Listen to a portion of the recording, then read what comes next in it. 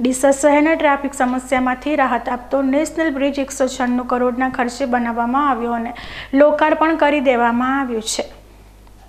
આ બ્રિજ બનવાથી ટ્રાફિક સમસ્યામાંથી ડીસા શહેરના રહેવાસીઓને રાહત મળી છે, પણ એકસો છન્નું કરોડના ખર્ચે બનેલ આ ફ્લાયઓવર બ્રિજ ઉપર અને નીચે લગાવવામાં આવેલ સ્ટ્રીટ લાઇટો આજ દિન સુધી નગરપાલિકા અને હાઈવે ઓથોરિટીની આડોડાઈના કારણે અંધકારમય છે.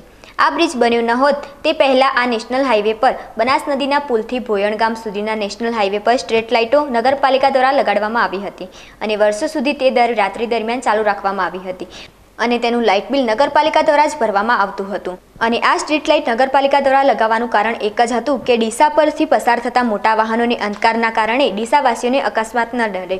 પરંતુ નવા બ્રિજનું કામ શરૂ કરાતા આ સ્ટ્રીટ લાઇટો નીકાળી દેવામાં આવી હતી. અને હવે જ્યારે બ્રિજનું કામ પૂર્ણ થયું છે અને બ્રિજ પર વાહન વ્યવહાર ચાલુ થઈ ગયો છે, પણ સ્ટ્રીટ લાઇટો બ્રિજ ઉપર અને નીચે નગરપાલિકા અને હાઈવે ઓથોરિટીના વાંકે બનશે આગામી સમય અંધકારના કારણે મોટો અકસ્માત થાય તો તેની જવાબદારી કોણ લેશે તે જોવાનું રહ્યું.